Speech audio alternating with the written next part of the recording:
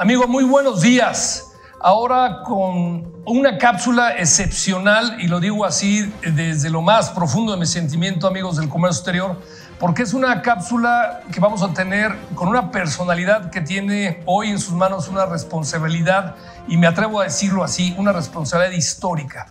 ¿sí? Vamos a, permítame presentarles con quién estamos el, el gusto de platicar el día de hoy. Tenemos aquí a el economista Rafael Fernando eh, Marín Mollinedo. Eh, voy a empezar por el final. El proyecto que, como ustedes habrán visto en, tanto en las cátedras como en las cápsulas que hemos dado, es el que lleva como es el director general del Corredor Interoceánico del Istmo de Tehuantepec, desde el 18 de julio del 2019 a la fecha, casi nada. Un proyecto que como país tenemos 150 años de que queremos que se concrete, eh, lo hemos dicho, si hay un proyecto que puede detonar la economía del sureste mexicano, es este. Eh, don Rafael, muchísimas gracias por estar aquí con nosotros, eh, conviviendo y expresándonos un poco la importancia de este proyecto. No, pues gracias a ustedes que nos permiten también poder llegar a su público y pues darles una una introducción de este, un resumen de lo que significa este, este gran proyecto, un proyecto tan anhelado como bien mencionas, eh, que durante muchas eh, administraciones eh, seccionales se estuvo tratando de revivir después de que esto se, dejó de invertir en el Istmo después de, de la revolución y, este, y cada sexenio había la intención de revivirlo, pero siempre se quedó en buenas intenciones. Nunca hubo la voluntad política de los presidentes de invertirle a este, a este proyecto. Como dirían nuestros abuelos, está de acuerdo conmigo, don Rafael, que el camino al infierno está lleno de buenas está empedrado de buenas intenciones. De buenas intenciones, sí. Entonces, este, bueno, pues realmente eh, haciendo un resumen, eh, este proyecto inició el año de 1907, se inauguró este corredor interoceánico, eh, cuando eh, en la época de Porfirio Díaz se terminó de construir la vía del tren. La vía del tren se empezó a construir desde la época de Benito Juárez y, tuvo los mismos problemas que tuvo el Canal de Panamá, que se le daba el proyecto a una empresa, no lo terminaba, se lo daban a otra y así fue hasta que ya en el, a principios de siglo Porfirio Díaz le metió toda la, todo, todo el interés se trajo a un, a un, a un, inglés este, constructor eh, llamado Pearson, que pues fue el que realmente terminó este proyecto. Eh, construyeron el puerto de Salina Cruz eh, y ampliaron el puerto, ya el puerto de ya existía, entonces hicieron, este señor diseñó la ciudad de Salina Cruz, diseñó Coatzacoalcos.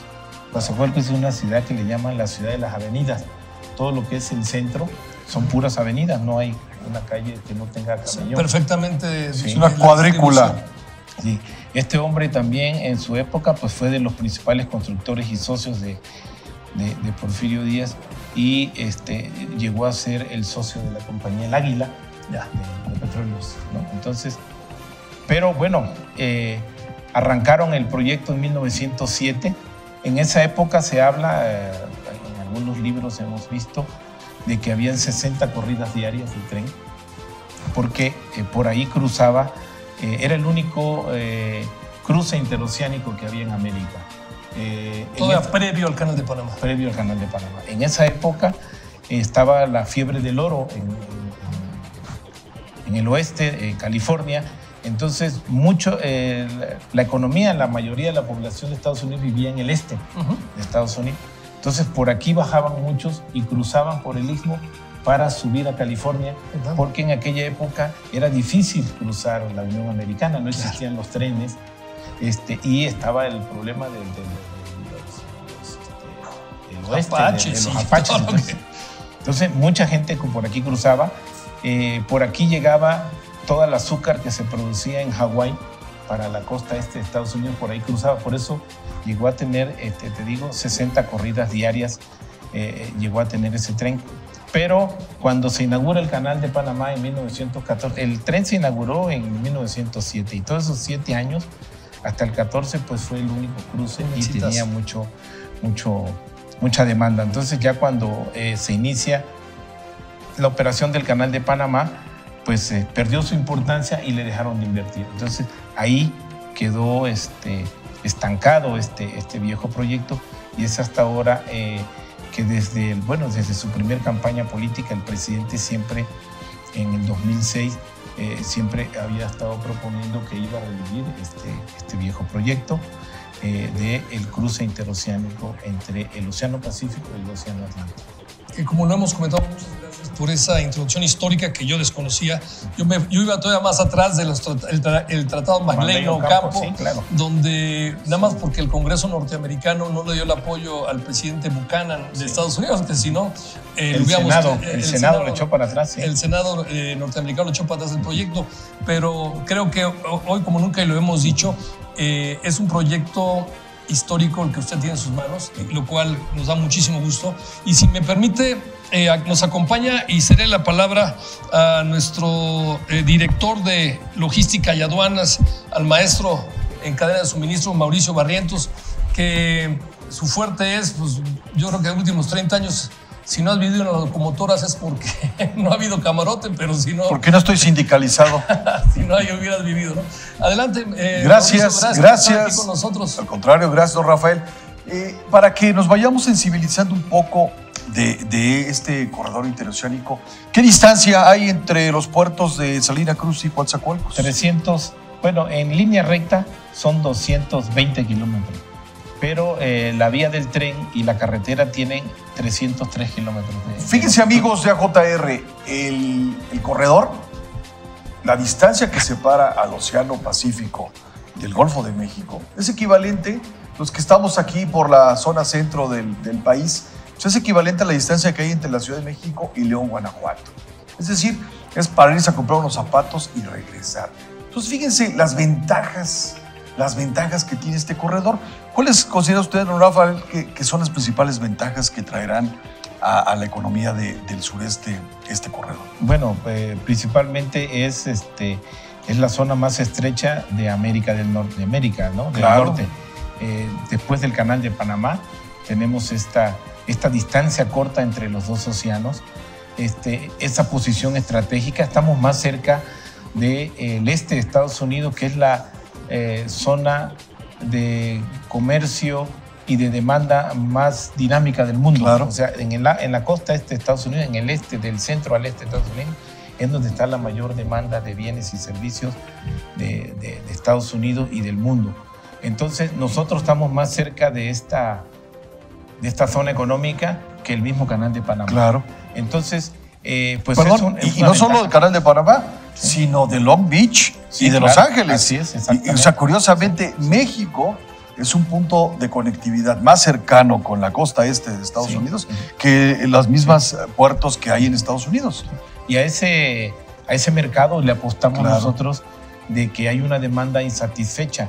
Eh, se habla de que en, esta, eh, en esta franja de Estados Unidos hay una un movimiento de mercancías de 1.400.000, perdón, de 14 millones de contenedores al año. Mm. Nosotros pretendemos introducir a ese mercado eh, ya en plena operación del tren y funcionando las terminales de contenedores con 1.400.000, el 10%, 10%, de la mercancía. 14 millones de contenedores se manejan por los pues, pues qué oportunidad, ¿Sí? don Rafael. Entonces, pues nosotros vamos a entrar ahí con el 10%, y pues todo eso le va a generar al país pues este, muchos empleos, porque la diferencia que tenemos con el canal de Panamá es que en el canal de Panamá, eh, por un lado, no le vamos a competir porque en el canal de Panamá pasan 30 30, 30 buques diarios, 30, 50 buques diarios. Y con miles de contenedores. Así es. Y en el, en, el Istmo vamos a poder cruzar un, barco diario, ¿no? como es, hay que subir, bajar los contenedores y todo. Pero tenemos la ventaja de que vamos a ser más baratos y van a poder llegar en menor tiempo los contenedores a la costa este de Estados Unidos que si se fueran a cruzar por Panamá. Varios factores. Uno, que tú llegas ahorita al canal de Panamá y te tienes que esperar para cruzar porque hay cola. Eh, Eh, lo mismo que pasa en Long Beach, ¿no? que tardan nueve días en, descargar un barco Claro. porque tienen que... O sea, está muy saturado. Nosotros no vamos a competir, simplemente vamos a hacer un complemento, ¿no? un desahogo de algunas mercancías. Pero la otra diferencia que tenemos con Panamá es que en Panamá eh, funciona como si fuera una caseta de cobro. Pasan los grandes barcos con su mercancía y siguen su camino. Sí, un corredor logístico. Así es. Y en cambio aquí lo que se pretende es que muchas de esas mercancías que vengan de cualquier parte del mundo se transformen en el corredor interoceánico con las empresas que se van a, a fundar en los 10 parques industriales que estamos pro- proponiendo como inicio del como detonador de este gran desarrollo que se pretende ahí en el Istmo. Este, entonces ahí se van a transformar y se les va a agregar valor y eso va a ayudar pues a la economía del país por un lado para la demanda de materias primas y por el otro por la generación de empleos. Claro, ahora, para, para nuestros eh, participantes y que nos están escuchando y viendo, la- la- todos los proyectos logísticos evidentemente requieren de una parte importante que es la infraestructura. Sí. Es decir, la infraestructura es la que puede detonar la atracción de inversión eh, en un punto determinado, en esta zona que estamos hablando del corredor, porque evidentemente las empresas lo que buscan son mejores condiciones, no solo para, para detonar su negocio, sino para asegurar un retorno de su inversión. ¿no? Sí, o sea, nadie claro. va a ir a, a colocar una planta si no hay las condiciones que se requieren para ello. ¿Cuáles son esas inversiones que se están haciendo actualmente en la infraestructura con las que va a contar el corredor? Bueno, precisamente parte del atractivo que queremos, o sea, que se quiere en este gobierno para atraer la inversión, pues es que sea atractivo para las empresas. Una, como ya dijimos, es la posición geoestratégica del Istmo de Ujú. Tehuantepec, pero sin infraestructura pues no sirve Claro. de nada, ¿no? Entonces, la infraestructura ya existe desde la época, como decíamos, de Porfirio Díaz, pero como se abandonó, entonces lo que estamos haciendo es, estamos haciendo de nuevo el tren, ya existía la vía del tren, pero estaba muy deteriorada, los trenes circulan, circulaban a 20 kilómetros por hora ahí en el Istmo. Entonces nosotros estamos haciendo de nuevo todo, estamos levantando la vía del tren, la estamos haciendo todo de nuevo, estamos arreglando todos los puentes, eh, todo lo que sea necesario y eh, pretendemos nosotros llevar la velocidad del tren a 60, 70 Ok. kilómetros por hora para que cruce en 5 o 6 horas, cruce un barco con, un, Fíjese, cinco o seis un horas tren con de contenedores. puerto a puerto. Sí, para este, entonces esa es una de las, de, la- de las ofertas que Ajá. necesitamos hacer nosotros. Toda esta inversión en lo que es la plataforma logística, la infraestructura, se está haciendo, ese es otra, otra, otro, otro signo de, de- de este proyecto, eh, se está haciendo con recursos públicos. Eh, el, el- el presidente, porque muchas empresas se ofrecían, Claro. yo, yo invierto en el tren, yo invierto en el puerto, yo hago, no. Dice, no, esto tiene que ser, el presidente lo que pretende es que sea un corredor soberano, o sea, quiere mantener la soberanía. del- El control de toda esta Sí. operación. Entonces, por eso todo eh, se está haciendo un esfuerzo con los recursos públicos para modernizar la infraestructura. Estamos modernizando la vía del tren, estamos haciéndola de nuevo. Estamos ampliando los puertos. En el puerto de Coatzacoalcos y en el puerto de Salina Cruz vamos a construir dos terminales de contenedores, una en cada puerto, de 45 hectáreas cada una, donde para poder dar este servicio que hablamos, para poder Del, este, del 10% de satisfacer esta demanda sí, de los de 1.400.000 contenedores al año. Para ello, en el caso de Salina Cruz, estamos construyendo una escollera. Resulta que el puerto viejo de Salina Cruz pues ya quedó muy chico, lo, lo abrazó la ciudad, no hay para dónde Claro. crecer. Entonces, ahí cerquita de este puerto hay una terminal marítima de Pemex que en los años 80, cuando la- el boom petrolero, se pretendió hacer un puerto. Y entonces nada más hay una escollera de un lado y quedó trunca del otro lado la escollera. Entonces nosotros lo que estamos haciendo es ahora eh, terminando ese puerto eh, que va a ser, estamos construyendo una escollera de 1.600 Ujú. metros de largo. Lo que pasa es que ahí el, el mar es muy profundo y tenemos 24 y 26 metros de calado. Oh, pues es- Wow. Entonces es una, es una obra que se va a llevar 9 millones de toneladas de piedra sí, para, para, todo, construirla. Entonces, ese es otro de, los, de las ventajas que va a tener el, el corredor, porque ahí ya cuando terminemos la escollera, que está programada para terminarse en julio del próximo año, y la terminal de contenedores, vamos a contar con el puerto más profundo de América. Eso es lo que le iba yo a decir, perdón que lo interrumpa. Amigos, yo creo que no hay otro puerto en México, seguramente en América sí lo habrá, pero no hay otro puerto en México que tenga ese calado Así que es. va a tener ese Natural. Claro, Es un calado natural de 24 metros. Entonces ahí van a poder este, atracar barcos porque lo vamos a compartir con, con- con la terminal de Pemex. Va a ser un puerto petrolero y comercial de carga. y este, de, de contenedores y de, y, Petróleo. y- y de petróleo. Ahí van a poder a- a- a- atracar los buques que están circulando actualmente por los mares, que son de 2 millones de barriles. Esos buques tienen que dar la vuelta, salen de, de Texas y tienen que dar la vuelta por el Cabo de Nueva Esperanza o por el Estrecho de Magallanes Wow. este, para, eh, del pa- otro pa- lado. para poder claro, llegar a Asia, ¿no? claro. Entonces, ahí van a poder atracar esos grandes buques eh, de 2 millones de, de- de toneladas en este puerto. Y los barcos de contenedores más grandes que circulan también Así es. actualmente. Que hoy no llegan a México. ¿no? de hasta 24 mil eh, contenedores. Entonces, eh, yo he hablado con gente que conoce de este tema, que han, estado que han trabajado con las navieras y dicen que se puede convertir en un momento dado en un hub de América este puerto porque ahí van a llegar los grandes barcos y de ahí se va a distribuir por cabotaje hacia eh, la costa pacífica de Norteamérica y para la costa pacífica Por de. Claro que es, que es una actividad muy importante, por ejemplo, y, y es increíble, ¿no? Que México, con el potencial y las características que tenemos, no, no hayamos podido desarrollar hasta hoy una terminal portuaria como estas. Eh, eh, lo, lo podemos ver, por ejemplo, en Dominicana con, con, este, con el puerto de Caucedo y lo podemos ver también eh, en otras eh, latitudes, Panamá, bueno, con el puerto de Manzanillo, ¿no? Que se llama igual que el nuestro. Pero en México no existe un puerto de transbordo como el que está usted mencionando y que efectivamente es el que le puede generar a nuestro país un, incremento importantísimo de movimiento de carga, Movimiento, claro. que para las navieras sería un- reemplazar lo que el cuello de botella que tienen hoy en Estados Unidos, ¿no?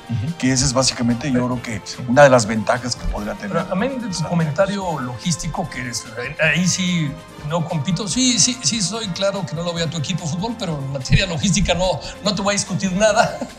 Pero eh, yo creo que yo lo veo desde el punto de vista detonante. Si hay un proyecto, perdón mi, mi- mi atrevimiento, si hay un proyecto que puede detonar todo el sureste, es este.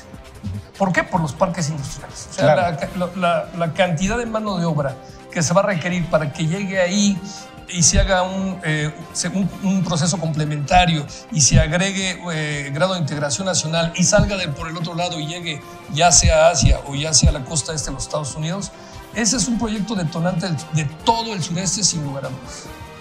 Precisamente es el complemento. Fíjate que cuando hago las presentaciones del proyecto los lugares donde nos han invitado, cámaras y todo, eh, yo les hablo de que este proyecto consta de dos plataformas. Uno que es la plataforma logística, que es todo lo que hemos estado hablando de eh, la, la, eh, la rehabilitación y la modernización y la construcción de toda la infraestructura logística eh, multimodal para que puedan cruzar las mercancías de un océano al otro. Y el otro- la otra plataforma es la plataforma industrial, Claro.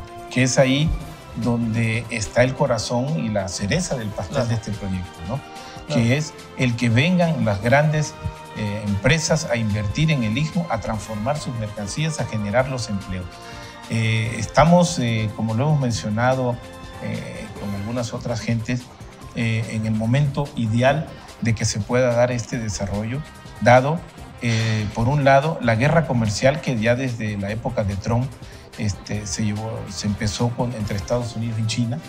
Eh, eh, Donald Trump le impuso altos eh, aranceles a todos los productos que venían de China y ahora con la pandemia pues se agravó por el asunto del incremento en los fletes marítimos que se fueron se multiplicaron hasta por, hasta por 10. Entonces, todos esos factores nos favorecen a nosotros para, y nos dan el optimismo y, de que, y la confianza de que esto se va a desarrollar más pronto de lo que teníamos planeado. ¿no? ¿Por qué? Porque se está dando esto de que le llaman el nearshoring, de que las empresas mismas que se... En la época del boom de China, de que se puso de moda China, todas las empresas del mundo se fueron a producir allá, Claro. empresas mexicanas, Donde saliera más barato. empresas americanas, Claro. todos se fueron a producir y ahorita pues con este problema que hay de los impuestos y de ya no llegan tan competitivos los precios de los productos chinos a Estados Unidos. Y ahí es donde nosotros podemos eh, incrustarnos, eh, meternos en medio de este, de este negocio y poder fabricar esos productos aquí en México y lo que tenga que ir para Estados Unidos, exportarlo. Pero aquí van a tener, aparte de la plataforma logística, las empresas van a tener los incentivos fiscales, que son incentivos muy agresivos que les van a ayudar a las empresas para que durante los primeros años puedan salir adelante y consideramos que eso no los hay en ninguna parte del país. O sea, van a ser incentivos más ambiciosos que los mismos eh, eh, reducciones de impuestos que hay en la frontera. Pues, don Rafael, muchísimas gracias por esa explicación. Estamos seguros que, eh, déjeme comentarle que a través de Red Prosex y AJR tenemos una base más o menos de 13.000 empresas, todas involucradas en comercio exterior que a la cual les compartiremos eh, esta cápsula, que todo el mundo sabe de este proyecto porque lo hemos leído en periódicos, lo hemos visto en noticieros y más, pero el que nos haya eh, acompañado el día de hoy lo agradecemos, lo aceleremos directamente llegar a esas empresas y pues, concluir, eh, pasar la palabra para que usted nos haga el favor de cerrar, pero no sin antes decirle que tiene un, proyecto en sus manos, tiene un proyecto histórico en un momento histórico. Le deseamos la mejor de las suertes. Muchas gracias. le deseamos la mejor de las suertes por el bien de usted, pero por el bien de México. Claro, definitivamente. Y yo les agradezco, te digo, este, que nos den también la oportunidad pues, de que la gente se entere, los alumnos, la, gente, los jóvenes, porque ahí va a haber mucho trabajo que en el futuro muchos de los que nos están viendo se van a, lo mejor a ir a, trabajar allá. Yo he ido a, otros países, nos han llevado este, a conocer este tipo de desarrollo, nos enseñan las fotos de cómo eran los arrozales y ahorita son grandes este, eh, centros industriales. Centros industriales.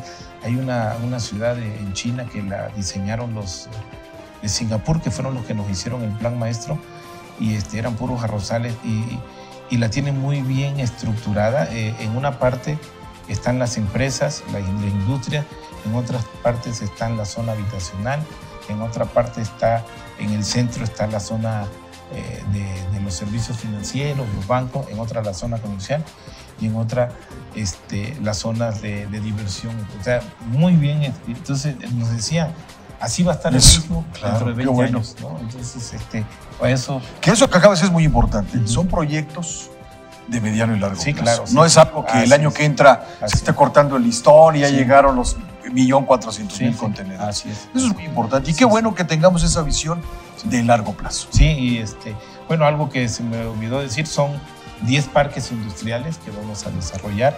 Eh, vamos a salir ya muy pronto. El presidente me, dio de plazo hasta el 25 de noviembre. Le tengo que entregar ya eh, toda la reserva territorial. Estamos hablando de 3.300 hectáreas de reserva territorial. Ahora entiendo por qué tiene prisa de aquí al 25 de noviembre.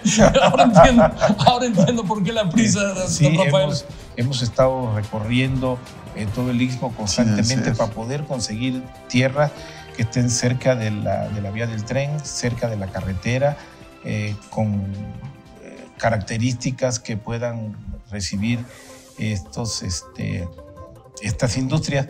Y eh, una de las cosas que nos dijo el presidente es que necesitábamos tener todos los parques. Yo desde, desde el año pasado eh, teníamos nosotros ya eh, cinco terrenos ya listos para arrancar. Y el presidente dijo, hasta que no tengan los 10 parques no vamos a arrancar. yo ahora lo comprendo porque si hubiéramos arrancado con cinco parques, para conseguir los otros cinco se nos hubiera encarecido mucho. Tremendamente. La especulación. O sea, ya de, por sí ya había gente eh, comprando tierras en el Istmo, dice que para vendérnoslas a nosotros y nosotros compramos directamente a los ejidos y a los propietarios directos. La verdad que este, compramos a muy buen precio, ahí le ahorramos una buena cantidad al, país y, este, y, pues esperemos que ahora que ya eh, se salgan a licitar estos, estos parques, eh, pues inmediatamente empiecen a llegar las empresas. Pues don Rafael, nuevamente eh, gracias por su tiempo y todo el éxito del mundo. Muchas gracias. Eh, eh, porque este país lo merece. Claro. Es un, es un proyecto muy, muy añejado. Gracias, Mauricio, por Al contrario, acompañarnos. gracias, Tú hiciste, las, Gracias. tú hiciste las preguntas inteligentes. Yo nada más he hecho porras y he hecho porras. Pero el que sabe, los que saben de eso son ustedes dos. Así somos. ¿Verdad? Bueno, Órale, pues. mucho gusto. Placer. Gracias, muchas gracias y Gracias estar mucha suerte. Gracias. Gracias a todos.